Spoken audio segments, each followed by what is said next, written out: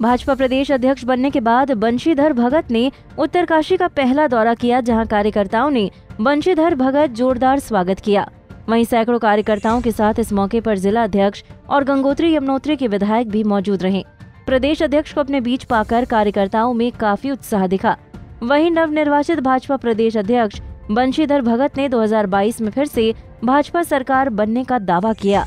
उन्होंने कहा कि जल्द ही सरकार कैबिनेट में खाली पड़े मंत्री के पदों को भरेगी।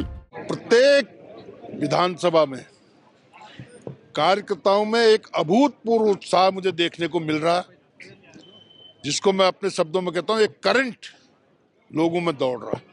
भारतीय जनता पार्टी के प्रति लोग बिल्कुल आकर्षित हैं और 2022 का संकल्प मैं सबसे दोहरा रहा हूँ।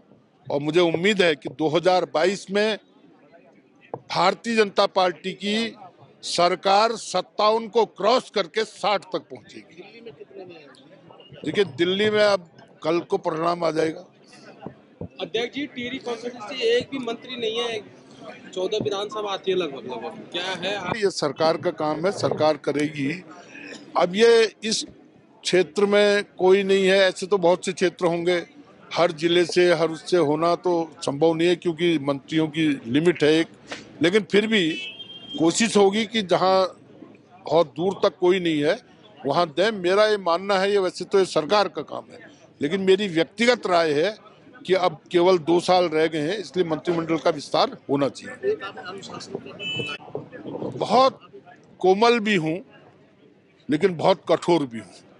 मैं कार्यकर्ताओं को बिल्कुल भगवान मानता हूँ, आत्मा मानता हूँ, भारतीय जनता पार्टी की रीढ़ की हड्डी मानता हूँ। कार्यकर्ता के बिना कुछ नहीं हो सकता। कार्यकर्ता भाई बहनी हमारे सब कुछ हैं। लेकिन इतना सम्मान के बाद भी अगर कार्यकर्ता कहीं अपने नेता के प्रति, पार्टी के प्रति कोई हल्के शब्दों का प्रयोग करता है या दल विरोधी कार्यक्रम में शामिल होता है तो उसके प्रति निश्चित रूप से कठोर कार्रवाई करेंगे।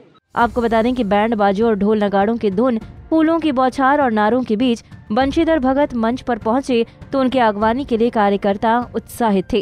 पंजाब केसरी टीवी के लिए उत्तरकाशी से आशीष मिश्रा की रिपोर्ट।